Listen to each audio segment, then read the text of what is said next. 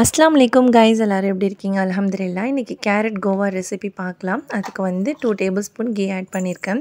அது நல்லா மெல்ட் ஆனதுக்கப்புறம் ஒரு கைப்பிடி அளவு துருவி வச்சுருக்கேன் கேரட் அது கூட நான் சேர்த்துக்கிறேன். ஸோ இப்போ இது எல்லாத்தையும் நல்லா பச்சை ஸ்மெல் போகிற வரையும் வதக்கி எடுத்துக்கலாம்.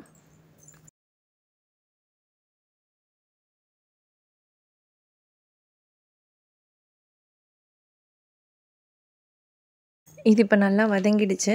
மில்க் மேட் வந்து கரெக்டாக பார்த்தீங்கன்னா டூ டேபிள் ஸ்பூன் ஆட் பண்ணியிருக்கேன் இது வீட்டிலேயே செஞ்சது. ஸோ இதோட லிங்க் வந்து டிஸ்கிரிப்ஷனில் இருக்குது அதையும் செக் பண்ணி பாருங்கள் இன்ஷால்லா.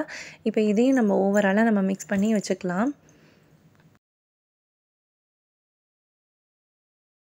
நெக்ஸ்ட்டு என்ன ஆட் பண்ண போகிறோன்னு பார்த்தீங்கன்னா பால் பவுடர் அந்த பால் பவுடர் வந்து பார்த்திங்கன்னா அஞ்சு டேபிள் ஸ்பூன் எடுத்து இரநூத்தி ஐம்பது எம்எல் தண்ணியில் அதை நல்லா மிக்ஸ் பண்ணி வச்சுருக்கேன். அதையும் நான் இப்போ இது கூட சேர்த்துருக்குறேன்.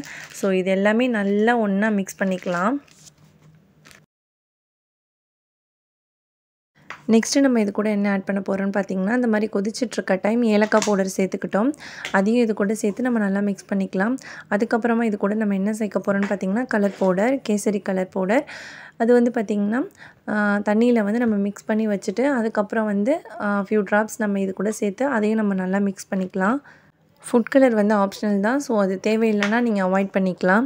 அதுக்கப்புறம் வந்து நம்ம சுகர் ஆட் பண்ண போகிறோம் சுகர் வந்து பார்த்திங்கன்னா கரெக்டாக ஒரு த்ரீ டேபிள் ஸ்பூன் ஆட் பண்ணியிருக்கேன் ஏற்கனவே வந்து நம்ம மில்க் மேட் சேர்த்துக்கோம்ல அதனால் சுகர் இருக்கும். ஸோ வந்து த்ரீ டேபிள் ஸ்பூன் மட்டும் நான் ஆட் பண்ணிக்கிறேன். அதையும் நம்ம இது கூட சேர்த்து நம்ம நல்லா மிக்ஸ் பண்ணிக்கலாம். இந்த மாதிரி நம்ம வந்து ஃபைனலி நம்ம மிக்ஸ் பண்ணுறப்போ நம்மளுக்கு வந்து அது மெல்ட் ஆகும். மெல்ட் ஆகிறப்போ திக்காக நம்மளுக்கு கிடச்சிரும்.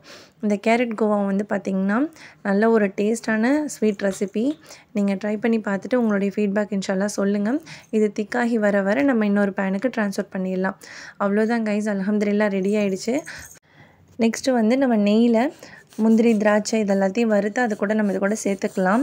இது வந்து கொஞ்சம் ஆறுனதுக்கு அப்புறம் நல்லா இன்னும் இருக்கும்.